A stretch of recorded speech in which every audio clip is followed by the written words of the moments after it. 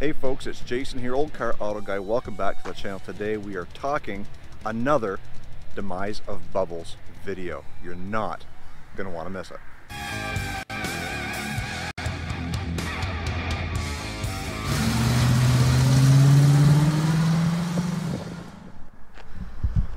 So the reason why I wanted to talk the Demise of Bubbles one more time Let's first start off with those who are new to the channel and don't know who or what Bubbles is. Bubbles is my 2009 Kia Sportage as you see behind me.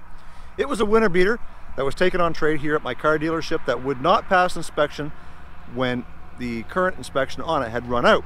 So I decided I was going to drive it for the winter knowing full well that it wasn't going to be roadworthy once the inspection ran out. So we took it, we lifted it, we put 31 inch tires on it and we beat the crap out of it.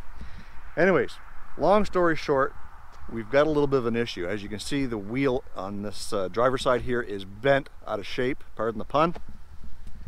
We've got to get that fixed up tentatively so that we can at least roll it up on a trailer and get it to its secure location where we are officially going to blow it up. That blow up is going to happen this weekend. There's a trick though. I'm not releasing that video right away.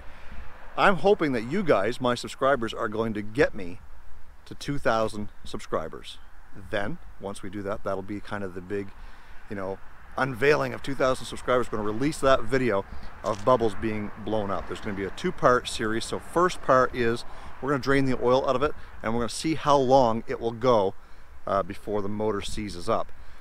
The second part is we are going to take 12 pounds of tannerite and we are going to set it up either underneath or inside the vehicle and then we are going to explode the tannerite. The car is going to explode with it. So that's going to be our big 2,000 subscriber celebration. We're at 1808 as of recording this video and you guys just need to help get the word out. So that's enough about this particular car. Now today here at the shop, my salesman Bill uh, worked out a deal on the 2011 Hyundai Santa Fe, the little black one we had sitting over on the end, and they traded in a car that is standing right here in front of me right now that could quite potentially be the next Bubbles. The inspection on this car is good till spring next year, so we know that we can drive it and get us through till spring. Mechanically, it's got a few issues. The rocker panels are rusty, the transmission is leaking. These are little things that we can look at and spend minimal amounts of money because we've got the shop right there that I can bring the vehicle in and do some of the work myself so we're not going to have a huge amount of money tied up into this. Again, because of the issues that it does have, it's a 2006, so you know, they're not worth a whole lot of money, especially in the condition that it's in. So this vehicle could possibly be the next Bubbles on the channel. What kind of vehicle is it? Let's take a look. Ladies and gentlemen, this is a 2006 Chrysler 300. If you're not familiar with these 300s, they were Chrysler's answer to basically what the Panther platform is. Essentially, it's a rear wheel drive. Some of them came in all wheel drive. This particular one is a V6. It's not the Hemi. Yes, they came with a Hemi. As you can see, it too has bubbles. It has bubbles here. And underneath that plastic rocker panel, the, the real structure of the vehicle, the rocker panel, is looking pretty bad too. Let's take a look inside. We open it up and it is just an entry level 300, so there's not a lot of fancy features. I mean, they are a nice car for what they are. It does have power seats. It does have cruise control and air conditioning and all that stuff. I don't know if any of that stuff works. I haven't driven the car yet. But like I said about the rocker panels, you can see all along here, the rocker is completely bubbling away. It's doing the same thing on the other side.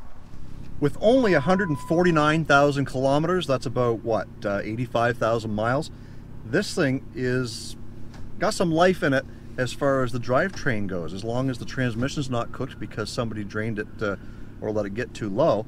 Uh, it does have a little bit of exhaust leak. If I buy this as a winter project or a winter beater, who needs exhaust? Let's, let's take a look under the hood. And there we have it, Chrysler's 3.5 liter V6. Now these things did work pretty good. I know they had a few issues on them, but like the hood not staying up. That's not a that's not an engine issue. Uh, they did have a little bit of an issue with these things. Some of them had oiling issues. The pumps would go bad, and of course, if it's not pumping oil, the engine won't last that long. This one actually sounds pretty good, but then again, with 145,000 or 149,000 kilometers, it's just barely broke in, I guess. At the end of the day, I want to know what you guys think. Should this Chrysler 300 be the next Bubbles? Or should we hold off and wait for something better or worse to come along? I've already got a rear wheel drive car in grandma. Do I need another one? Not really. I've never owned one of these things. Do I really need one?